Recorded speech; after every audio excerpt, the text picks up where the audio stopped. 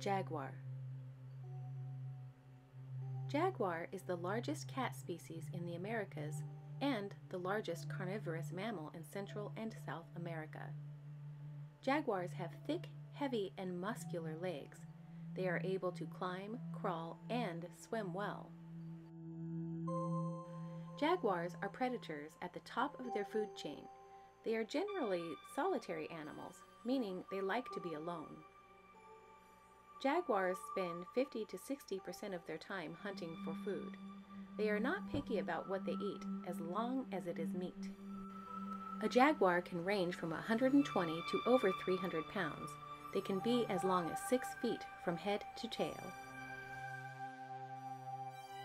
Proofreading Skill Builder. There is one or more grammar, spelling, or punctuation error in this video. Make a comment in the comment section if you find the error or errors and show off your attention to detail. Have fun!